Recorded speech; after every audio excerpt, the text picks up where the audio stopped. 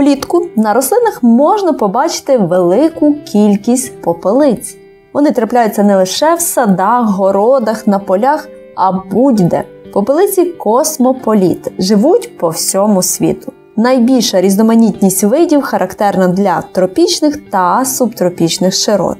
Наразі відомо близько 5 тисяч видів попелиць, але як вважають, насправді їх значно більше. Серед цих комах є і добре відомі шкідники, наприклад, виноградна філоксера, яку завезли з Америки. Вона стала справжнім лихом для виноградарства. Інші добре поширені види шкідників зелена яблунева попелиця, розана та капустяна попелиці.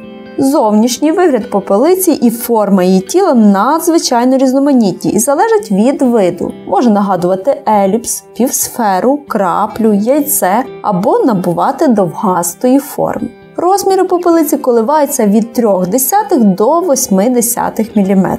Покрови тіла прозорі і м'які.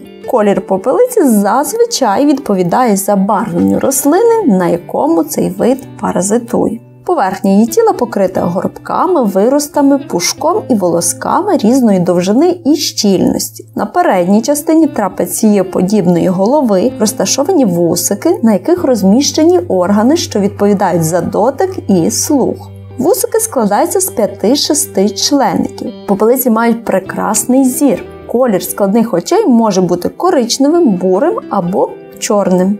Попелиці належать до одного з найбільших надсімейств комах ряду напівтвердокрилих, у яких ротовий апарат це хоботочок колючо-смоктального типу.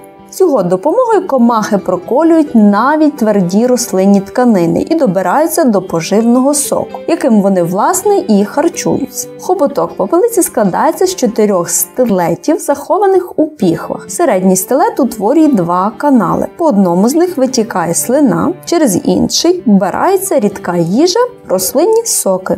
Окремі види поглинають більше соків, ніж їм потрібно для живлення. Надлишок цукру неперетравленим виводиться назовні, тому часто попелиці спричиняють хворобливі зміни тих частин рослин, на яких харчуються.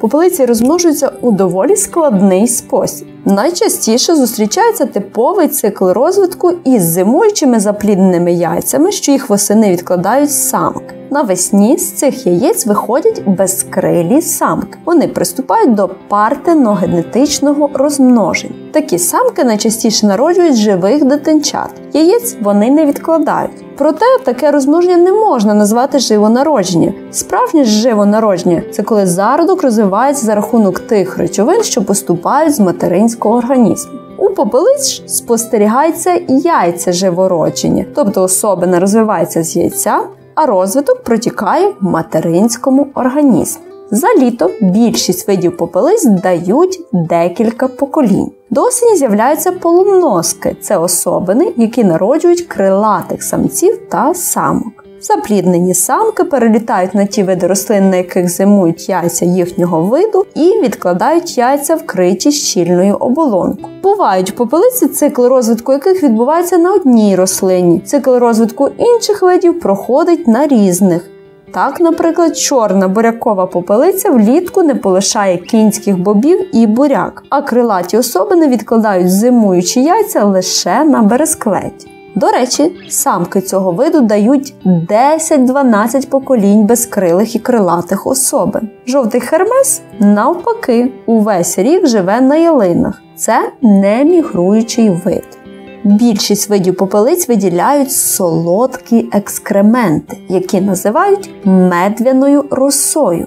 Причина виділення цієї субстанції полягає в тому, що попелиці мають надзвичайно ніжні покриви тіла, через які легко випаровується вода. Саме тому попелиці споживають надлишок рослинних соків, щоб не загинути від висихання. Через це надмірна кількість цукру виводиться з організму в неперетравленому вигляді. Цікаво, що в жарких регіонах попелиці виділяють набагато більше медвяної роси, ніж у районах з вологим кліматом.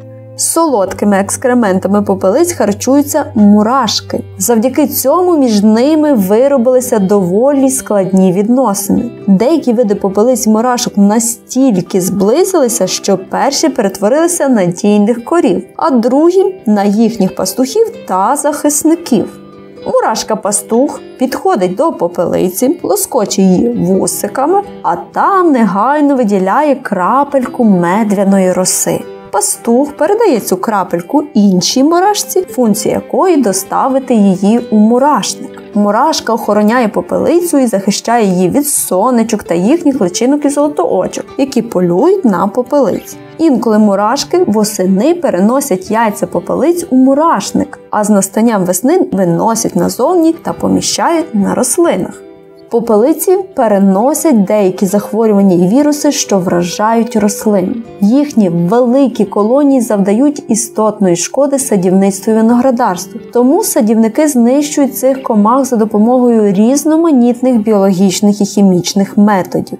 Проте, незважаючи на шкоду, яку ці комахи завдають сільському господарству, слід пам'ятати, що кожен вид відіграє важливу роль в екологічному балансі та стабільному функціонуванні будь-якої екосистеми планети.